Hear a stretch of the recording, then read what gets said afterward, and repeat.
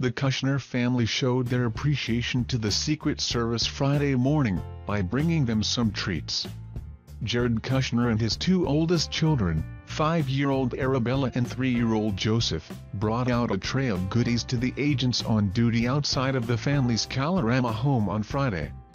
Little Joseph smiled ear to ear as he carried the tin tray out of the house to one of his protectors. His dad then hopped into a waiting car to take him to work at the White House, but not before smoothing out his son's golden locks one last time. Ivanka emerged about an hour and a half later, and was in full spring mode, wearing a white pleated sundress with lace detailing and matching white cat-eye sunglasses.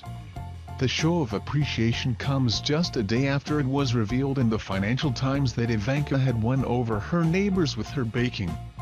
Since moving to DC at the start of the year, neighbors have been complaining about the lack of parking due to the first daughter's Secret Service detail and the piles of trash left on the street on the wrong pickup days.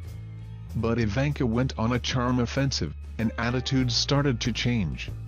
FT reports, she knocked on each of her neighbors' doors with stealth weapons in tow, her children and baked goods. The blatant PR offensive was highly effective. Lovely, just lovely, says Rona Friedman, a lawyer and neighbor who had been wary. People who know her say the same thing, that she's very gracious,